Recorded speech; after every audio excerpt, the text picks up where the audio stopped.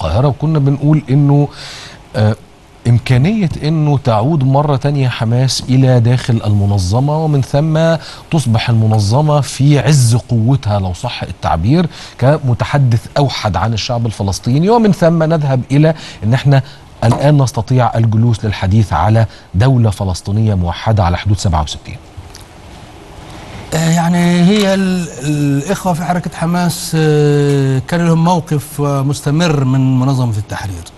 هم ما عمرهم دخلوا من ال- المنظمة. وعندما تفاوض معهم حتى ال- المرحوم الشهيد الرئيس ياسر عرفات كانوا يطلبوا طلبات يعني فوق التعجيزية يعني. بدهم مش عارف 80% ولا نص المجلس الوطني والتشفي اللجنة التنفيذية ويعني إلى آخره. ولكن طبعا وبالتالي ما حد وافقهم لا حركة فتح ولا الفصائل الأخرى.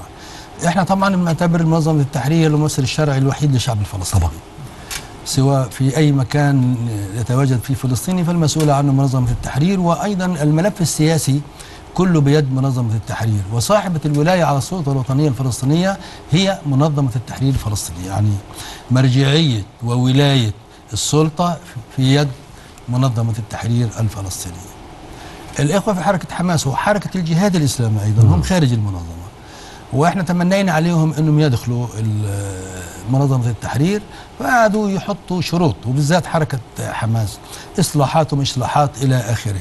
الآن حتى يدخلوا منظمة التحرير يعني من حيث المبدأ لابد من أن تتم المصالحة. أنا بدون مصالحة كيف بدهم يدخلوا منظمة التحرير؟ طب بدأنا مصالحة مش إحنا لا ما هو البداية ما أنا بقول لك البداية كويسة نبدأ ولكن المهم نصل للنهاية لأنه صدقني يعني في خشية بإنه إنه الإخوة في حركة حماس كالعادة إن هم في أزمة وبالتالي بدهم كيف يخرجوا من هذه الأزمة ويعني إذا خرجوا من هذه الأزمة آه ممكن تعود ريما لعادتها القديمة.